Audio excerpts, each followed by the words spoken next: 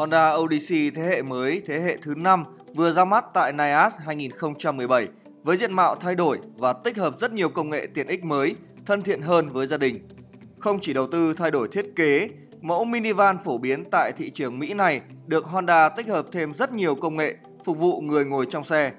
Cụ thể như hàng ghế thứ hai có thể tháo rời với công nghệ Magic Slide mới, tích hợp thêm 3 công nghệ Cabin Watch, Cabin Control và Cabin Talk giúp kiểm soát và giao tiếp, tương tác thông qua hệ thống điện tử của xe giữa các hành khách cùng với màn hình cảm ứng TFT 7 inch điều khiển bằng âm thanh cùng hệ điều hành do Honda phát triển. Bổ sung thêm kết nối 4G LTE Wi-Fi, hệ thống giải trí mới phía sau với tính năng stream video và tất nhiên là không thể thiếu công nghệ Honda Sensing tiêu chuẩn như ở các dòng xe khác của hãng xe Nhật Bản. Ngoài các công nghệ kể trên thì một số công nghệ tiêu chuẩn như Android Auto hay Apple CarPlay vẫn sẽ được trang bị đi kèm một loạt các tính năng khác như điều hòa thông minh, tính năng giải trí cơ bản.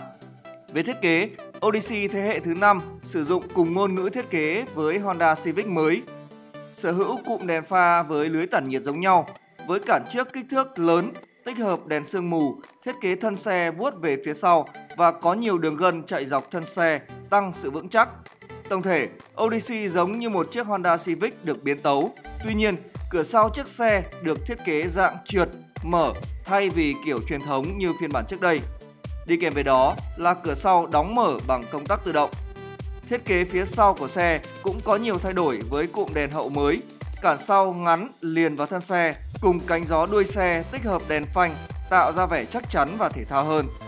Xe được trang bị bộ vành 18 inch, phanh đĩa với công nghệ ABS chống bó cứng trên cả 4 bánh và hệ thống treo mới tương tự như trên dòng Civic thế hệ mới.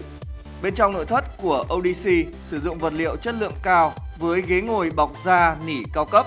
Vô lăng và các chi tiết được làm bằng nhựa chất lượng cao. Cần số đã được tích hợp bằng nút bấm thay vì nằm ở phía trung tâm như xe hơi truyền thống. Trang bị màn hình và các tính năng công nghệ như đã nêu trên đi cùng công nghệ kiểm soát hành trình Cruise Control, hỗ trợ chuyển làn Lane Assist, cảm biến và camera lùi, hỗ trợ đỗ xe, cân bằng điện tử và chống trơn trượt khi trời mưa,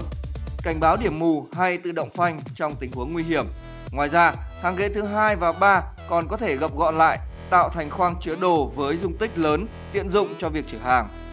Trái tim của Honda Odyssey 2018 là khối động cơ xăng iVTEC V6 3.5 lít, sản sinh công suất tối đa 280 mã lực với hai tùy chọn hộp số tự động 9 cấp cho phiên bản tiêu chuẩn và hộp số 10 cấp mới trên phiên bản cao cấp.